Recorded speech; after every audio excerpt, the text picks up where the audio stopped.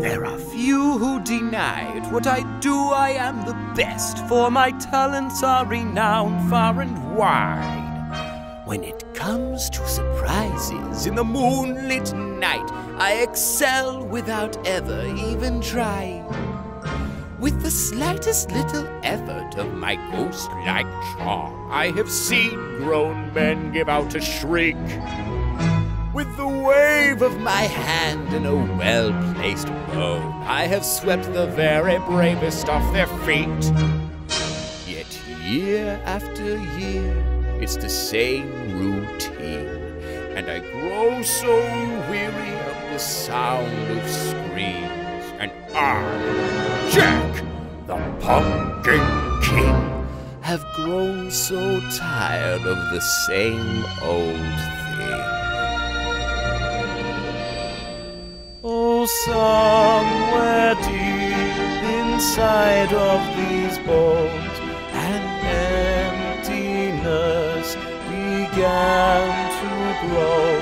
There's something out there far from my home, a longing that I've never known. I'm the master of of and I'll scare you right out of your pants. To a guy in Kentucky, I'm Mr. Unlucky, and I'm known throughout both England and France. And since I am dead, I can take off my head to recite Shakespearean quotations. No animal nor man could scream like I can with fury of my recitations.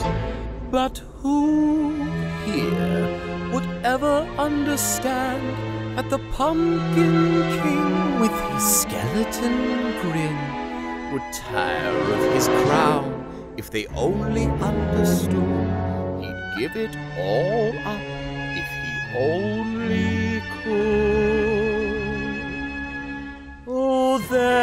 There's an empty place in my bones that calls out for something unknown. The fame